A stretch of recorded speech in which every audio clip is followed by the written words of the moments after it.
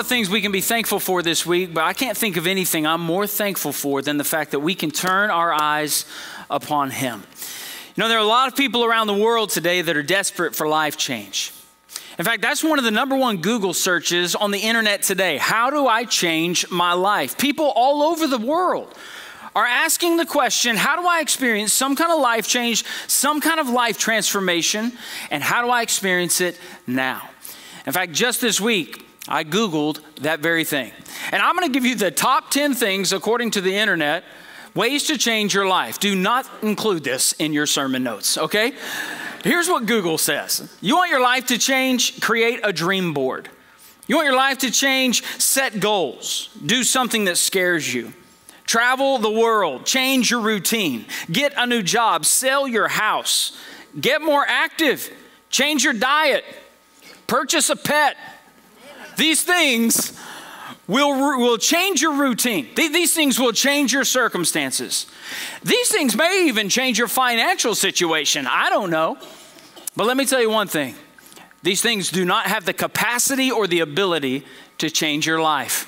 If you are taking notes today, get this at the top of the page. You ready? Only Jesus can change your life. Only Jesus can do what you need him to do. Only Jesus can take a person from death and bring them to a place of life. Only Jesus can take a sinner and make them a saint. Only Jesus can take a person exactly where they are and take them where only He can be. He can take you from a place where you have no hope or joy or peace. He can bring you to a place of complete contentment through faith. Only Jesus can change your life like that. And that's exactly what we've been talking about over the past several weeks. And we've seen that the life change we desire, it's only possible through Him. It doesn't happen when Jesus is a part of your life. You want your life to change? It won't happen if Jesus is just a part of your life. But the change you're looking for will happen when Christ is your life. And that's a completely different story. That's what we've learned so far in this letter. As Paul was writing to these believers in Ephesus, he was showing them that when Christ changes a person's life, not only does he give them a new identity in Christ, he also gives them a new goal in life. In fact, he talked about the goal of the Christian life in chapter 4, verse 1, when he told the believers, Walk worthy of the calling you've received. Do you remember that verse? That verse applied to them, but it also applies to us. He said, Christians, those of you who are in Christ, here's what you're called to do walk worthy of the calling that you've received. I can just imagine those in Ephesus opening up this scroll when it was first presented to them as the church. I can imagine them open that scroll for the very first time and reading those words, walk worthy of the calling you've received. Don't you know they were like, man, what in the world are you talking about? What is this walk that you're talking about? What does it mean to walk worthy of the calling we've received in Christ? Because even today, some of us are asking, how do I walk worthy of the calling? How do I walk a new walk with Jesus? But as they ask that question, as they open that scroll, I can just imagine them as they continue reading. Because Paul goes on to share with them not only the goal as believers, but he goes on to share with them the how to's of walking this new walk and the how to's of living a worthy life that God has called us to live. He told them, You want to know how to do it? Here's the first step you got to take off the former way of life. And he told them that in verse 22. He said, Take off your former way of life and then put on your new self. This is the how to's of how to walk this new walk, how to live this new life. He said, You got to have a wardrobe change. You got to take off the sinful and the stained garments of your past, and you got to put on your new spiritual wardrobe, which allows us to live the life that God's called us to live. Today, as we continue our walk through the book of Ephesians, Paul's going to show us from chapter 4 how walking this new walk and living this new life will always result in us living a different life. You're going to be different if, you're exper- if you've experienced Jesus Christ. You're going to be different. It's not a will I be different, it's no, you're going to be different. You, you got to understand if you are in Christ, you are different because you cannot be changed by Jesus and remain the same. When you new, walk a new walk and you replace the old life with the new life that's available through Christ, you will naturally live a different kind of life. And he goes on to talk specifically about what some of those differences are, beginning in verse 25. And we're going to unpack those today. In fact, in this passage, he tells us when you are in Christ and living for the Lord, you should blank. You should do six things. And I want to share these six things with you from God's Word. And I want to encourage every person that knows Jesus in the room to write these six things down because they apply to your life. I want you to jot them down. Grab a pen, grab some paper, pull out your phone, type them in your notes, but don't leave here without understanding that God's word applies to you and He's given us special instruction as we are walking this new walk together. He's going to tell us as believers the first thing we've got to do, we've got to replace lying with truth telling. We've got to replace lying with truth telling. Look at verse 25. Therefore, putting away lying, speak the truth, each one to his neighbor, because we are members of one another. I read a poll this week that said that 90% of Americans admit to consistently lying in their life. 90%. I thought it sounded a little bit high personally, but that's the number that was given. And when asked by one person, when, when asked, one person responded and said, Well, here's the truth a little white lie here and there never hurt anybody. Why do you lie? Because ultimately, little lies don't matter. Here's what God's word said there are no little lies with God. So, with that being said, let me ask you a personal question. How many of you have told a little white lie here and there? Don't raise your hand. I don't want to embarrass you. And I also don't want to put you on the spot and tempt you to lie in church. Amen. But all of us have been guilty of telling a little white lie here and there. But the Bible says there are no such thing as little white lies with God. In fact, in Proverbs chapter 6, it tells us that there are six things that God hates, and this is one of them.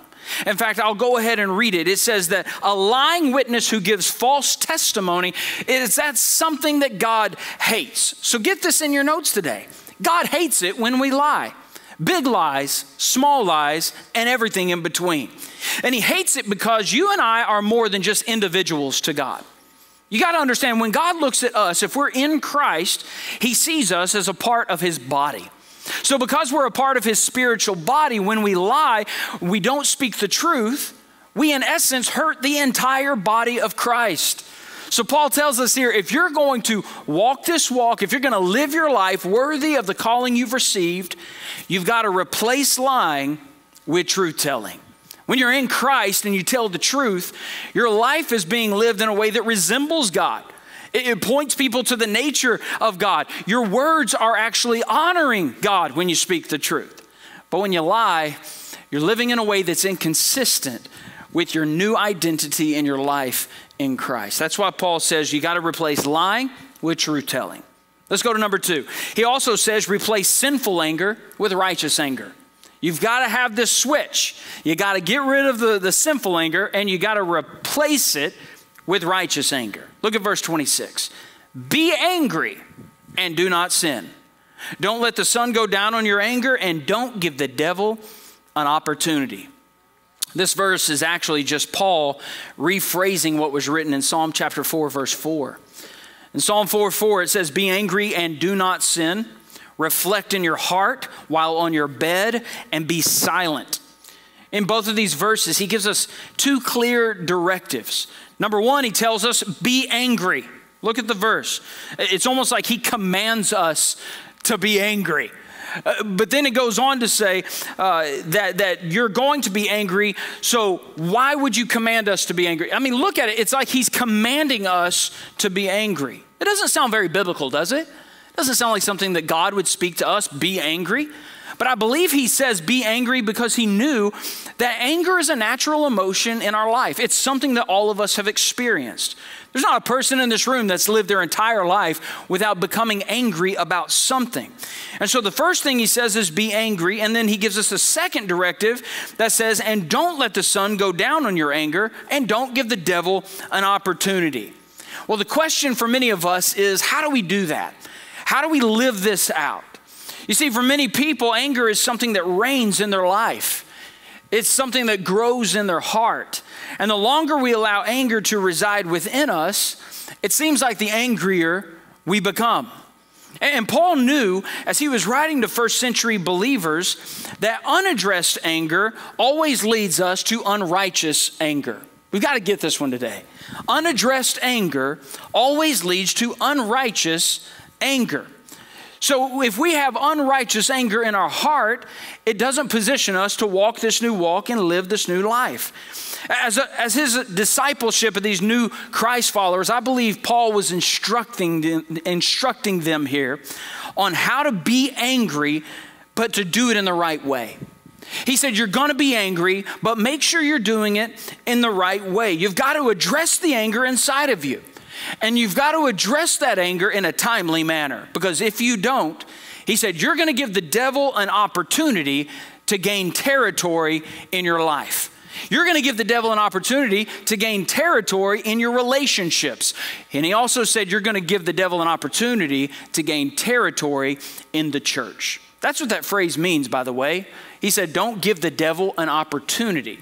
Some text says, Don't give the devil a foothold, which is another great word to highlight in the text. That word foothold, it's actually a rock climbing term which defines a place to securely set your foot to gain leverage so that you can elevate even higher. If you've ever climbed a wall, if you've ever scaled the side of a cliff, you know this word. You know that if you if you have a foothold, that, that's going to allow you to climb higher. It's necessary if you're going to continue to go up and eventually reach the summit. So that's what we're trying to avoid in this life, by the way. We're trying to avoid that as Christians. We never want to give the devil a foothold or an opportunity to gain ground in our lives. But Paul says when our anger goes unchecked, when our anger goes unaddressed, that's exactly what we're doing. We're teeing him up to exploit our anger and our bitterness for his purposes. You get it? He said, for that reason, you got to replace your sinful anger with righteous anger. The third thing he tells us Replace stealing with hard work and generosity. Replace stealing with hard work and generosity. Look at verse 28. It said, Let the thief no longer steal. Instead, he is to do honest work with his own hands so that he has something to share with anyone in need.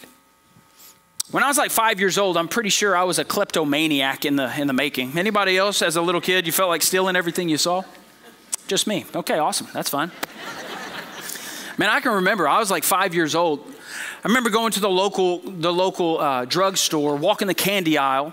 I was there with my mom. We had just been to the dentist, and now we're at the, the drugstore, and I'm walking the candy aisle back and forth, and I'm just, I'm, I'm lusting over the candy bars, right? Uh, that's just what I did when I was a kid. I would walk that aisle, and I would look at the candy bars, and I'm like, man, I gotta have one of those. Only this time, there was, a, there was an internal courage that came over me and I can remember looking around to make sure no one was looking, and I grabbed about three or four of those candy bars and I put them in my pants when nobody's looking. And now I'm walking around the candy store like this, right? I'm walking around the drugstore like this, just making sure that everything is good. A few minutes later, we're walking out of the out of the store. In fact, my mom was talking to the owner of the drugstore. I was kind of staying behind her, trying not to move too much. And as she's having this conversation with him, I can remember thinking, man, just just don't breathe. Everything's going to be fine. But then, as they continued to talk, one of those candy bars broke free from my waistband, made its way down my pant leg, slid down on the floor right in front of the owner of the store. And now, in that moment, I can remember thinking, I'm dead. I mean, this is the last day on planet Earth for me, right? I'm going to be killed. I, of course, had to return the candy bars. I had to apologize to the owner. And then I went home where my dad disciplined me over and over again, I'm sure. But I realized very quickly that stealing didn't need to be a part of my life. I learned that young. And there's a lot of people who are still learning that lesson today. Let me ask you have you ever stolen something that didn't belong to you? Have you ever taken something that wasn't yours? Apparently, this was a big deal in the early church. This was a big deal. Now, they weren't stealing candy, but they were apparently stealing something. Why else would Paul have included this in his message to the church? Many scholars believe he wrote this uh, to a certain segment of the population in the church, people who he called thieves in the Bible. And these are people that were freeloading from the other members of the church. Apparently, everybody else was giving, everyone else was sacrificing and doing what was called upon. Uh, there were some who weren't doing their part. And these people in the church, they, they, weren't, they weren't givers, they were takers. There were people in the church that weren't contributing to the body. These people were only taking from the body. They weren't asking, What can I give when they showed up? They were only asking, What can I gain? And the Bible lets us know that Paul categorized their actions as stealing, and he labeled these people as thieves. Get this in your notes today. Stealing always stems from a sinful source. It always stems from a sinful source. No matter what you're talking about, you could be talking about stealing big or stealing small. There's going to be sin at the root of that. We steal when we don't feel like we're getting what we deserve. We steal when we covet. We steal when we're greedy, when we feel entitled to more. All stealing comes from a sinful seed. On the other hand, generosity, which Paul also speaks about, generosity, as seen in the Bible, is always a sign or, or it gives evidence of a life that's been changed. So, for that reason, Paul said instead of being a thief that steals, do honest work with your own hands so that you have something to share with everyone else, so that you have something to share with the body. Once again, he shows us, according to the Lord, what we have is a lot less about us and it's a whole lot more about other people. There's something inside of us that said, no, no, no, this is all mine. It, it's, it's for only me to have and enjoy. But when you look at that according to Scripture, it shows us that what God has blessed us with is a whole lot less about building our kingdom and a whole lot more about building His kingdom. So, for those reasons, Paul said, replace stealing with hard work and generosity. The fourth thing he tells us is replace destructive words with constructive words. He's talking about our language here, and he said there has to be an exchange on the words that we speak. Verse 29 No foul language should come from your mouth, but only what is good for building up someone in need, so that it gives grace to those who hear. Let me ask you do you believe that God is really paying attention to the words that we say? It almost sounds beneath God sometimes. You're like, oh, he doesn't care about what I say. And there's this thought that says, I'm sure that he doesn't listen to everything that I'm saying. I'm sure he's just like monitoring from time to time. And yet, when you look at the Bible, even when words seem insignificant to us, the Bible paints a picture that says the words we speak are a big deal to God. They're a big deal to God. And I'm not just talking about the words we speak. I'm saying when we communicate with others, whether that be on social media or through an email or a voicemail or a text, when we communicate, the words that we speak are a big deal to God. And I think they're a big deal once again because when we speak, we are in a sense speaking on God's behalf. You are. As a child of God, when you speak, you're speaking as a member of the family of God. And I believe that was Paul's message to the early church that day. He was saying, Church, pay attention to what you're saying. Pay attention to how you're communicating, how you're tweeting, how you're commenting on that Facebook post. Pay attention and be sure that the words are constructive and they're giving grace to those you encounter. In the third chapter of James, it talks about how God is concerned with the way that we use our tongue. It doesn't seem like a big deal to us most of the time. But once again, it's a big deal to God.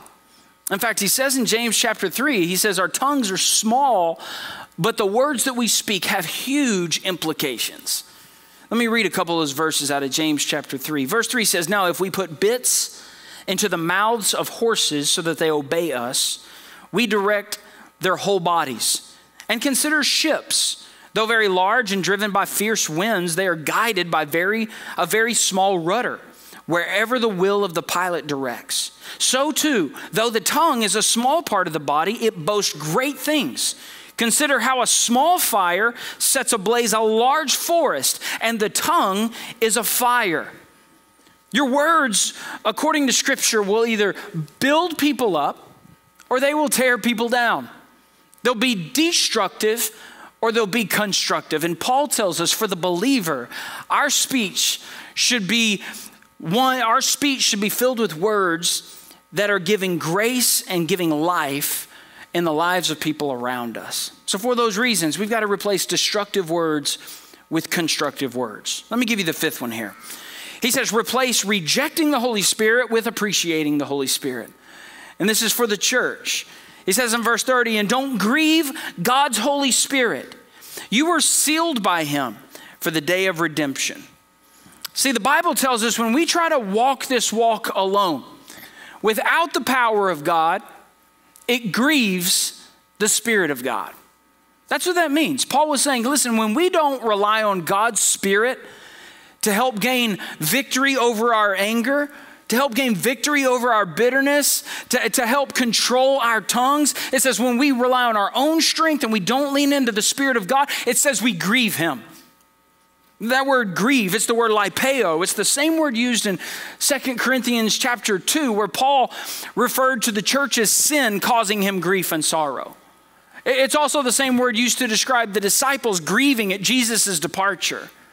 It's the exact same word that, that's used to, to define the disciples' reaction when they found out that one of them was, was going to betray Jesus in Matthew chapter 26. That, that word grieve, it, it's, it's not just used to describe sadness, it's not just used to describe disappointment, it's a word that's used to describe a broken heart. So here's what we can take away from this text we know all sin is painful to God, right? All sin is painful to God. But what this is saying is when his children refuse to change the ways of their old life, and when his children refuse to, to ask him for power in their new life, it not only breaks the heart of God, but this says it grieves the Spirit of God. Paul told the church the Holy Spirit weeps when he sees Christians lying instead of speaking the truth. It says the Holy Spirit weeps while we have unrighteous anger in our heart. It says he weeps when we are stealing instead of sharing. It says he weeps when we're tearing people down instead of building people up. So, with that in mind, Paul tells the church instead of grieving the Holy Spirit, I mean, let's appreciate the Holy Spirit. Let's appreciate the fact that, that He sealed us and He saved us and He's with us and He's given us His power and His presence even in this moment. Let's lean into the Holy Spirit and rely on Him instead of grieving Him. And then lastly, number six, He tells us you've also got to replace bitterness and anger with kindness and forgiveness. I want you to think about these words. Verse 31 Let all bitterness, anger, and wrath, shouting and slander be removed from you, along with all malice and be kind and compassionate to one another, forgiving one another, just as God also forgave you in Christ. Can you imagine for just a moment what it would be like if the church practiced these two verses of Scripture? Can you just imagine the difference? Can you imagine if our families and in our relationships, we just practice these two verses? And we were removing these things and we were adding things. Can you imagine what it would be like in America today if we just practiced these two verses? And yet, when you read them, it's not that hard. Paul said, when you remove bitterness and anger, and when you remove wrath and shouting and slander and malice from your life, and you choose to be kind and you choose to be compassionate, check it out. He said, when you choose to forgive one another, good things are going to happen. He said it's a formula for success. Just read the Word of God. And not only are you going to see, experience good things in your relationships and in your life and in your country, he said, but also you're going to be able to walk in a way in which otherwise you cannot. Here's what he just told us He said, remove everything inside of you that the devil wants to store. He, he, he, said he wants to store bitterness in your heart. You know why he wants to store bitterness in your heart? Because bitterness will lead you to sin. He, he said he wants to store anger in your heart. He wants to store wrath in your heart. You want to know why? Because by storing those things in your heart, the devil knows it's going to lead you back to your old life, living in your old ratty clothes. He tells you remove everything that the devil wants to store in your life and replace those things with everything the Lord wants to reveal through your life. You get it?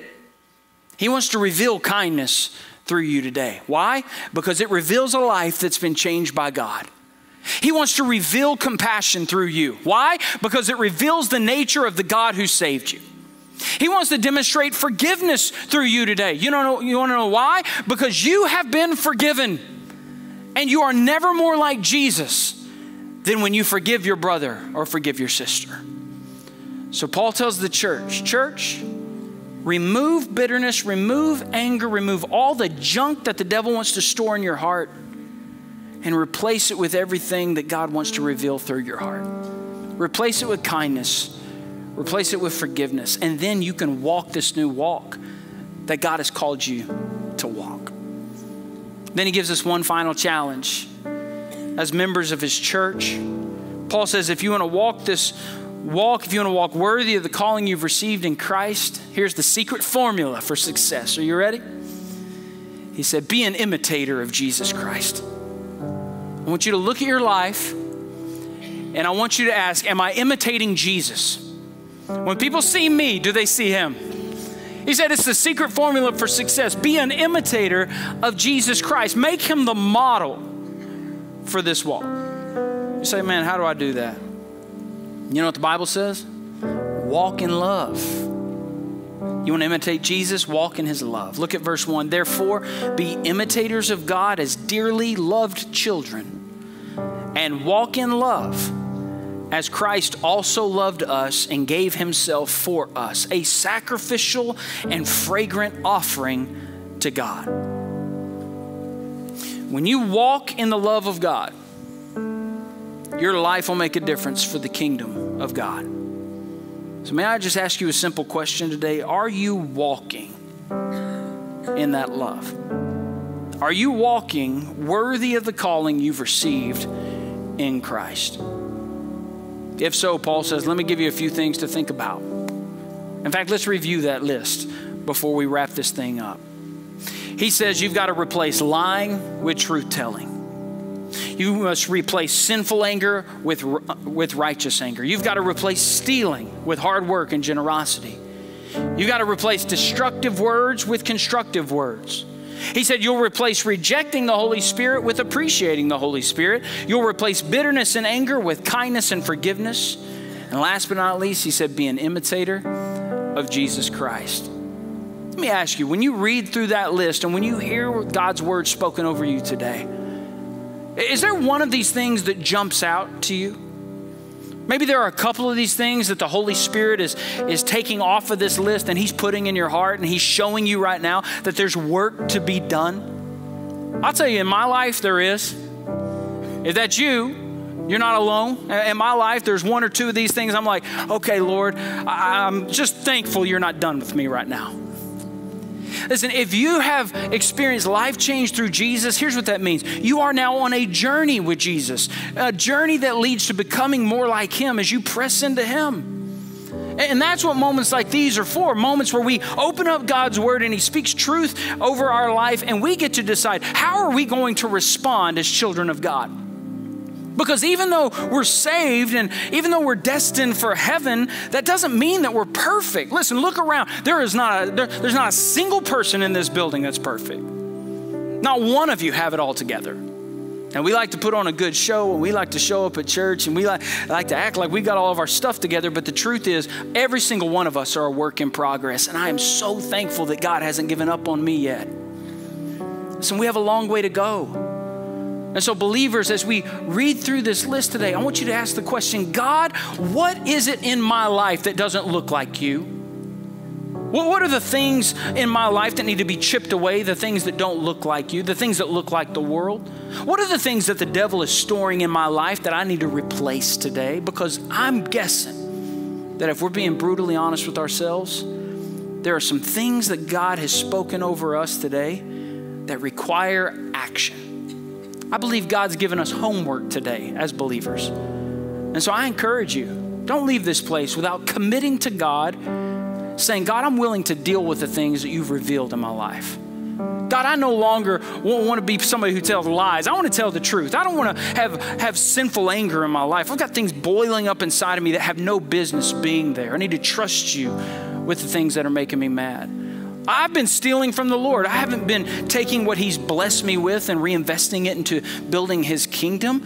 I've got destructive words that are coming out of my mouth. I get fired up on Facebook and I want to light everybody up. Listen, I need to remember I'm representing the church. I need to think about the words. Are they flaming arrows coming out of my mouth or are they, are they grace filled words that are building people up? Or maybe you say, man, I've got to replace bitterness in my heart or anger with kindness or forgiveness. Or maybe, maybe we, we've been grieving the Holy Spirit without even knowing it or thinking about it. We've been grieving Him because we've been relying on our own power and our own strength. We get to make a choice today. How do we respond to God? And how do we respond to His instruction? And yet, there may be people in this room who say, Man, if I'm being honest, I don't even have a relationship with God. I've never been saved. I've never even thought about replacing this with this. And if I have, it's been in the flesh as, a, as just a human trying to make myself better. I've never trusted Jesus as my Lord and Savior. Maybe today's the day you give Him 100% of who you are. And you ask Jesus to, to change your heart and to make you new and to forgive you of your sins. You could be a new creation in Christ today if you're willing to go all in with Jesus Christ. I believe His Word always prompts action in our heart. It requires an action step. And today is a day that God's called His church to action. So I ask this one more time God, what do you want me to do with this? What is it that you're telling me today?